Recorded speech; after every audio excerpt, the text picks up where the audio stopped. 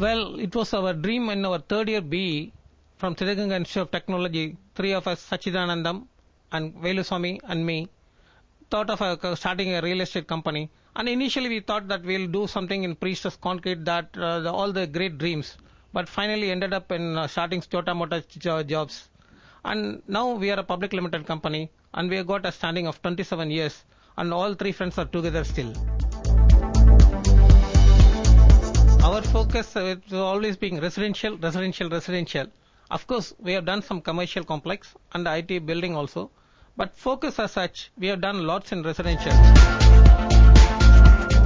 Personalized attention, like in our company, most probably all our clients would have met the MD or the director, and we will have a relationship with them uh, so uh, open, and we interact with them so well. So it is as though he is building his own house. He will have a better feeling. After all, he is paying, he is paying for it. Fortunately, we are in Chennai.